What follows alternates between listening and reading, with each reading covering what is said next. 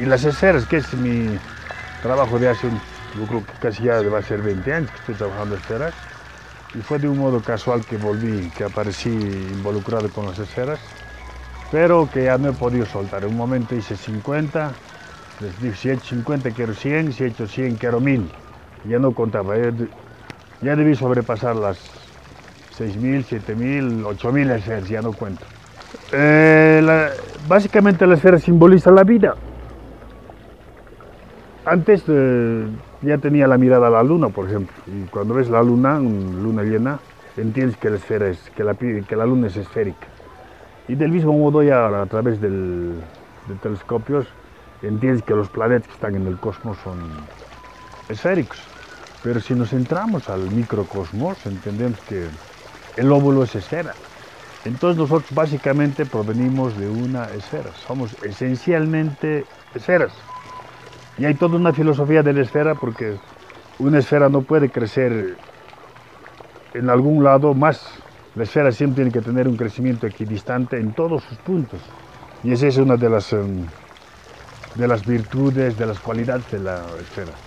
Y tal vez con el tiempo tuviéramos que pensar en ese, en ese tipo de forma de filosofía de vida, de tener todos lo necesario para estar bien y no como ahora que algunos, muy pocos, tienen demasiado que ni siquiera lo disfrutan. Y el de esto tiene nada que tiene que estar arañando la tierra para poder sobrevivir un día más. Entonces, un poco ahí va la filosofía de la, de la esfera.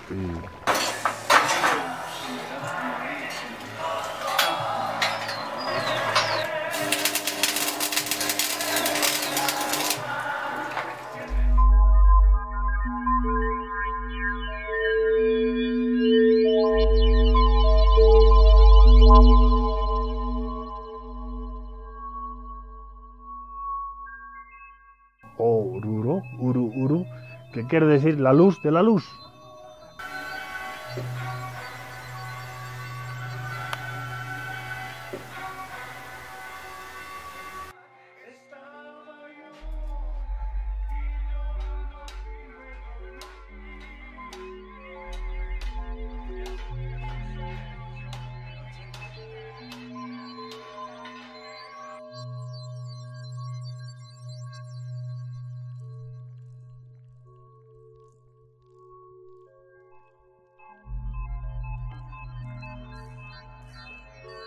Nuestros abuelos siempre nos decían, nacemos desnudos y morimos desnudos. No llevamos nada, entonces es para repensar ese concepto de que todo es prestado en la vida, nada es tuyo, en vano nos encargamos de, de acumular, acumular, acumular y ni siquiera para disfrutarlo. Manos pues. Es entrega, sí, te presto igual que esta esfera, todo es prestado en la vida. Ese es el concepto.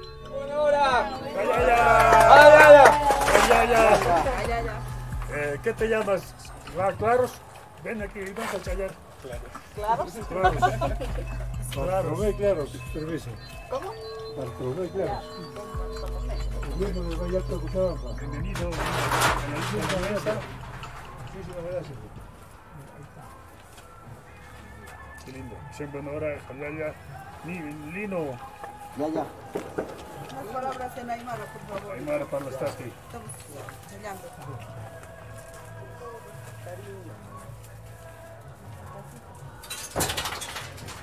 Cambergo, ven a chayar, tú estás haciendo la mayor parte de esa obra. Ya, ya. Allá, ya, mira.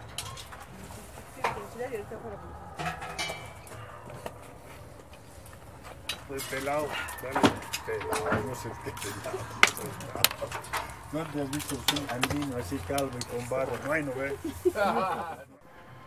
Eh, colegio, entonces tuve una, una formación católica así, de esas, de esas católicas estrictas que me bautizaron, confirmaron, primera comunión, matrimonio católico, entonces, y lo propio como si su bautizo, pero en algún momento me, eh, me rebelé creo contra todo eso, lo entendí de otro modo porque entiendo que, y sé que mis, eh, antes de la llegada de los, de los colonizadores a esta parte del continente, mi, mis abuelos ya tenían cultura propia, civilización propia y religión propia.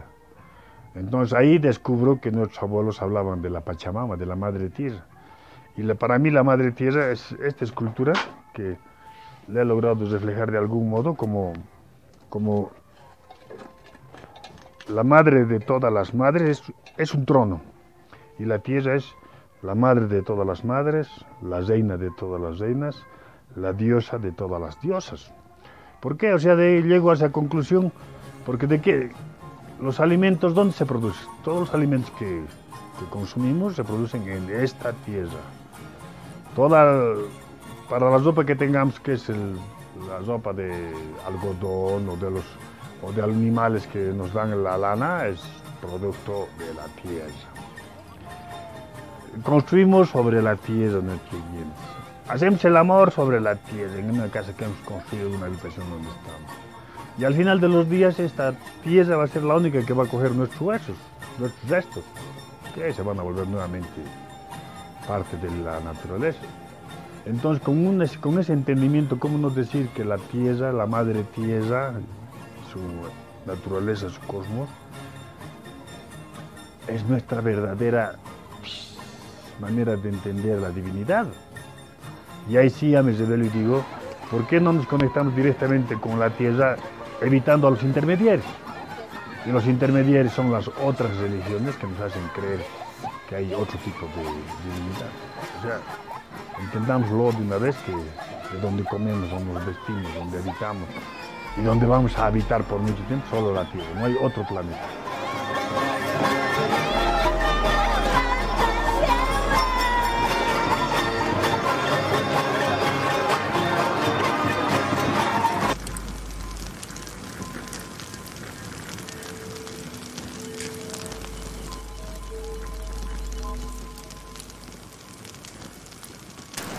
Entonces es tiempo de que pensemos de que no necesitamos intermediarios para conectarnos con la Esta es la verdadera realidad. ¿Cómo se le algo más? Para conocer también cómo aquí, así, Escuchemos el planeta. Escuchemos el planeta. El planeta está en dos manos. Cada uno escucha lo que le dice el planeta a cada uno y de algún modo a su sentimiento, a su forma de ser,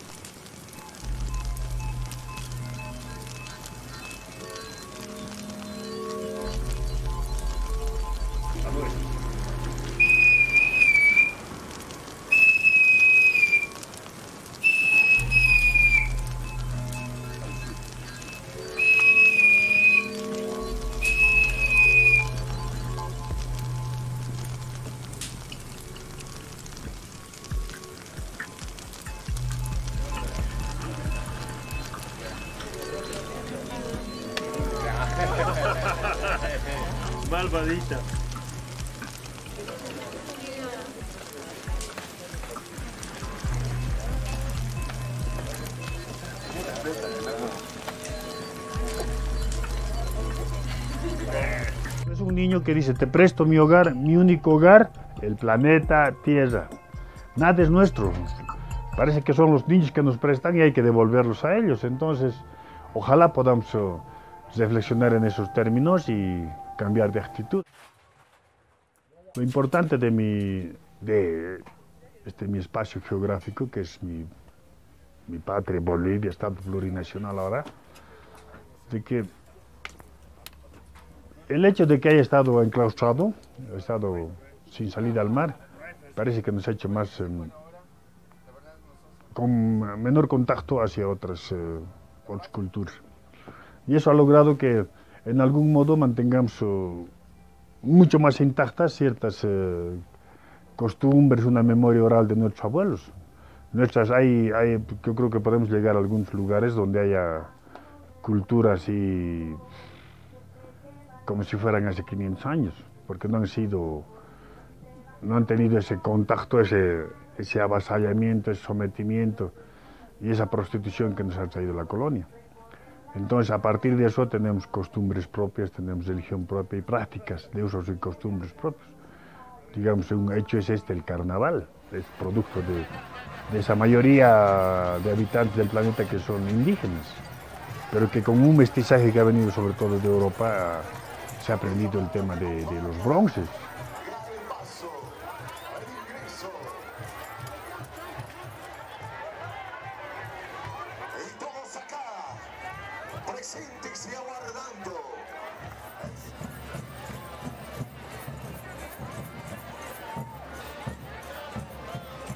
En el carnaval parece que pasa eso. Hay esa explosión de colores que no es habitual para nosotros, pero lo festejamos, lo vivimos y lo compartimos, que es otra característica un poco de mi, de mi gente, de mi lugar. Significa un poco celebrar la vida porque en esta temporada ya empieza mm, a haber las primeras eh, cosechas, sobre todo de papa. Y eso para nosotros es un, un festejo total porque sabes que estás garantizando la, la alimentación de un, de un, ciclo más de vida.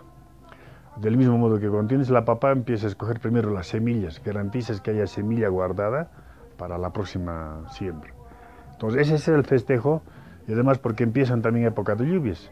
Aquí nosotros necesitamos del agua para continuar todo este proceso vital que es la, la vida.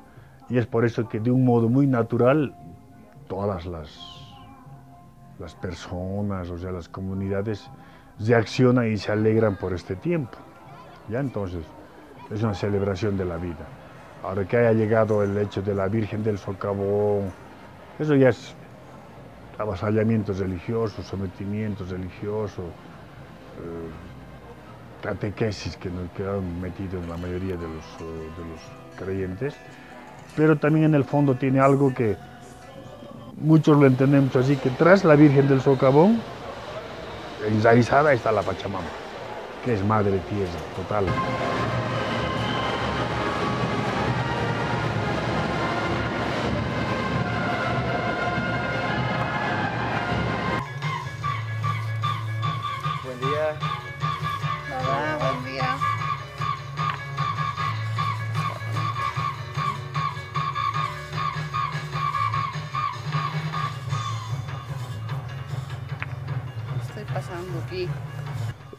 Esa ha sido un poco la, pasando la fortaleza que me he conocido con María, que a ella de muy joven le gustaba dibujar.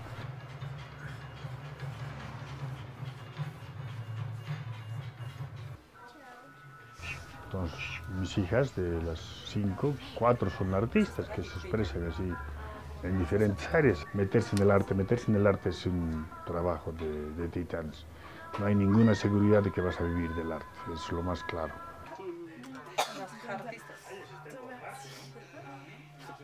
me preguntan algo, no es solo, no es solo Gonzalo Correa, es mi familia, o sea, soy parte de ellos, como es que entre todos lo hemos logrado. Y creo, hasta aquí lo hemos logrado, ¿no? No sabemos cuánto más podremos hacer y cuánto tiempo podremos compartir, que es lo que nos interesa. Esa magnífica forma de, espiritual del ser humano. Pero que tengas la capacidad en el corazón y en la mente más para atreverte a, soñar, a, decodificar conceptos y plasmarlos y que eso tenga un, valor comunicacional con la gente es otra cosa. Entonces, para mí el arte es esa capacidad de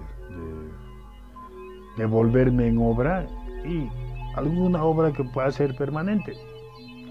Porque en los otros estados... Eh, los otros valores eh, que te da la vida, hay cosas que tú trabajas acumulando dinero y es un logro solo para vos.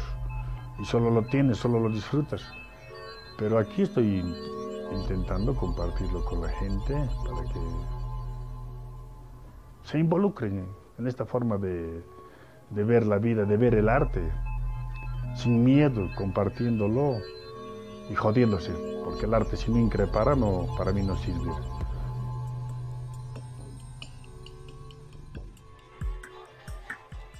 Sonrisita